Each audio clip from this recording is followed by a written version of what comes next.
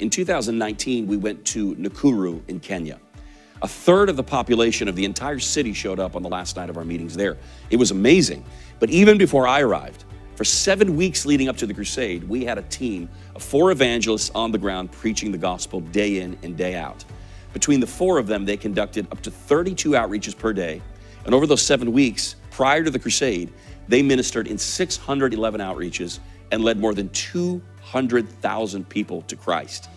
I believe the days are coming when more people will be saved before the Crusades than during them. And not because the Crusades are small, but because there's such a movement of evangelism swirling around the Crusades. They actually become the catalyst for something even greater than themselves.